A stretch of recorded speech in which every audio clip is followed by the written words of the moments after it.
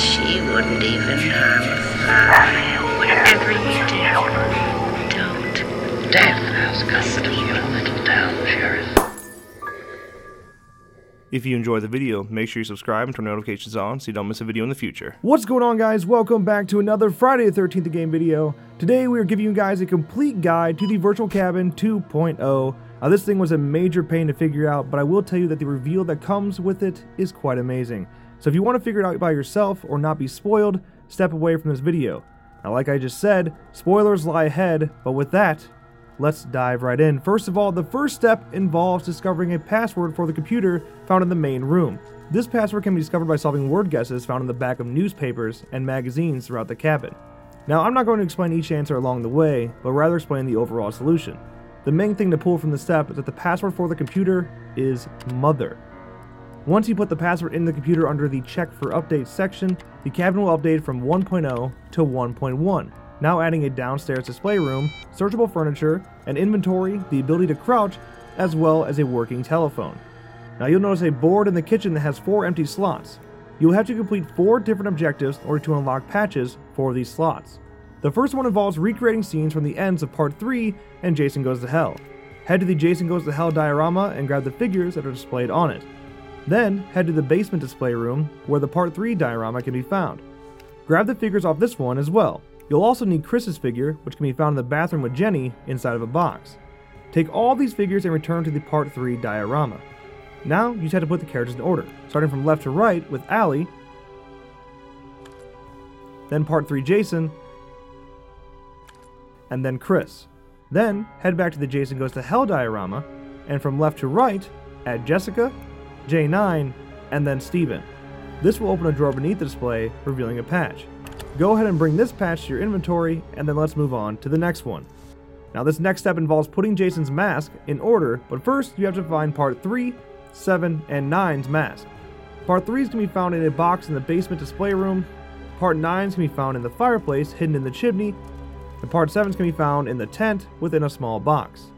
Once all these are collected, bring them to the wall where the other masks are displayed and collect those as well. Now you'll put the mask in order from part 3 to part 9. Once these are in order, remove the Part 5 mask. This will open a drawer next to the mask, revealing another patch. Collect this, and let's move on to the next step. The next objective involves putting specific items on podiums found throughout the cabin. You will need the red bandana found within the bathroom, an officer badge found within the basement display room, a yo yo found within the closet in the upstairs bedroom with a tent inside a small box towards the bottom of the closet. Then, the hat Crispin Glover wears in part 4 can be found right next to the front door on the coat rack. Now head back to the basement display room and put the bandana on the podium inside. Then, you can head upstairs and add the police badge to the podium found within the bedroom. From there, head into the item display room and add the yo-yo to the podium. And then last but not least, head to the back door past the kitchen and add the Crispin Glover hat to the final podium. This will then reveal yet another patch. Collect it and let's move on. Now, the last patch was a tricky one to find out. You have to call a specific number on the phone. This involves finding several objects across the cabin with blue numbers displayed on them. Now, like I said before, this was a very difficult process, so rather than explaining the whole bit to you, I'll just reveal the number directly. The number you want to enter on the phone is 1 5 5 5 3 4 2 9 2 7 7. After the call ends, the last drawer will open up, revealing the final patch. Now head back to the kitchen and add all the patches to the board. Once this is complete, the wall next to you will slide away, revealing a secret room. This one being the Jason room. You'll hear a phone ring towards the end of the room, go ahead and answer it, which will leave you with a final screen saying you completed the virtual cabin. Let down? Well, don't be, because it's not over. You'll be taken back to the main menu now. Go ahead and head back into the cabin, then, head back to the computer and access the Change the Date prompt. Now, change the date to June 13th, 1979. You will now hear the phone ringing once again from the Jason room. Head back down to answer it. You will then be greeted by a terrifying voice from Pamela Voorhees and will be led through a very exciting animation. Once you are able to move again, make sure you look at the axe stuck in the wall. This will leave your character in a temporary hazy state. Once back to normal, you'll notice that the Part 3 Jason has broken free from his glass display, now on the loose. Follow him upstairs to Chad and Buggzy, where you'll find their dismembered bodies. From there, head back downstairs to the room where Kenny and Tiffany were hanging out on the hammock. You will now find Tiffany's dead body, but if you look on the back of the door, you'll discover Kenny's body hanging from the door with a key around his neck. Take this key and then head back to the front door, which has now been destroyed by Jason, leaving you free to explore the outside. Once out the door, head directly to the right where you'll find a shed. Use the key you just found on Kenny to unlock it. Inside, you'll find a shovel. Add this to your inventory and start heading to the graveyard. Inside the graveyard, you'll notice Jason's tombstone and a pile of dirt. Head to this pile and use a shovel to dig it up. This will then reveal a casket with Part 6 Jason inside. From there, head to the right of the grave where you'll find a loose fence post. Take this post and head back to the grave. Use the fence post on Part 6 Jason. This will then cause a lightning strike to hit, which will ultimately resurrect him.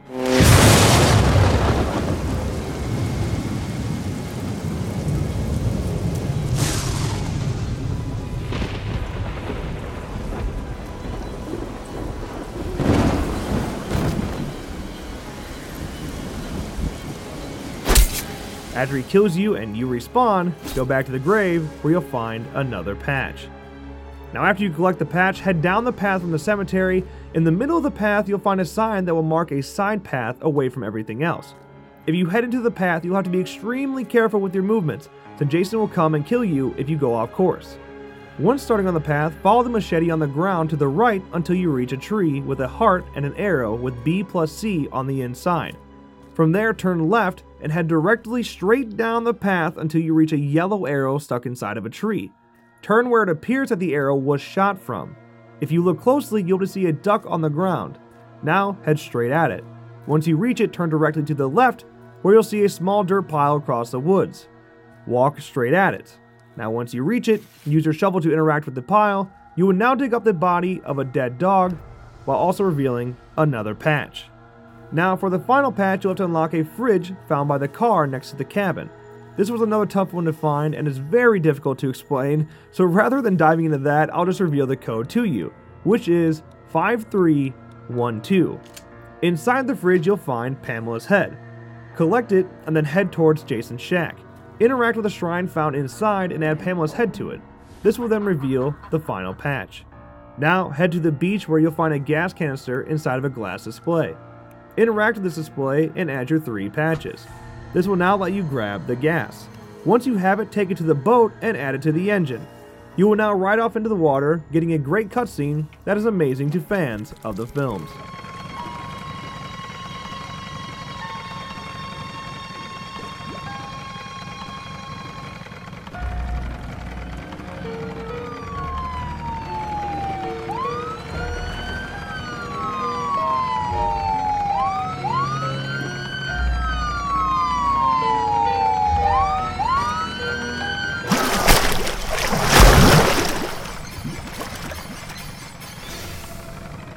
You will now get another You completed the virtual cabin screen. But wait, it's still not over. Head back into the virtual cabin. While in the cabin, use the Konami code to reveal the debug menu. The Konami code is up, up, down, down, left, right, left, right, BA, or OX on PlayStation. This may be different on PC, but we won't know until the patch officially drops on Steam. Now, with the debug menu in your top left corner, click on Map Collision. This will change it from on to an unknown air. Then, click on Show Collision, which will change it from off to on, revealing the collision items across the cabin. Now head back to the basement display room where you'll find a red door seen from earlier, but it's now glitching. Simply walk through the door and head into this random room with no real textures. Now I can't really explain what you're seeing here, but interact with the radio in the room to hear this. We spent a lot of time tuning the game to make sure it was fun to play as a counselor, and we knew we had it when. Funny guys, hilarious. How long have you been waiting to play that for? Anyways, we finally. Oh shit! Kane, that's dope. You got me. Oh, careful, bro. Your knife is dripping on the.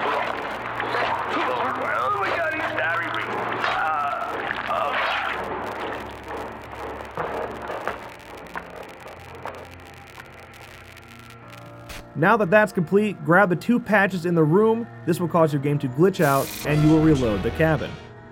Now you'll have to follow the trail patches down the stairs where IllFonic Chuck will be thrown through a window. Interact with his body to flip him over. After this, start following the patches once again, which will lead you back to the Jason room. Now, all the displays will be broken, and some Jasons will be holding patches in their hands. Grab these from them until the last one grabs you and kills you. The game will now reload with the Jason room now lacking all Jasons. Once again, follow the path of patches all the way upstairs to the coming soon door found on the second floor. Now you simply walk your way through the doors, but I'm going to let this footage speak for itself.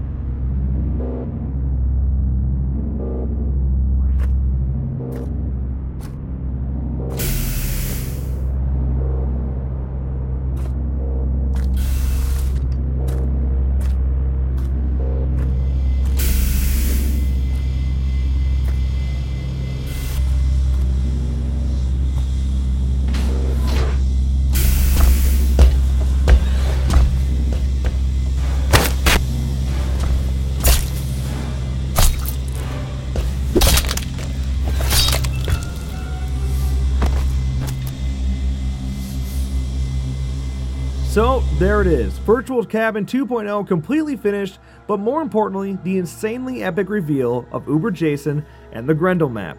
Now, I could not be more excited for this content, so let's hope the wait isn't too grueling. Alright, guys, what did you think? Please let me know if you have any questions. Trust me, I know that Virtual Cabin 2.0 can be quite confusing, so don't hesitate to ask. With that, that is going to wrap up today's video. If you enjoyed, make sure you drop a like and subscribe to our channel for more videos like this one. And of course, as always, thank you guys so much for watching, and we'll see you next time.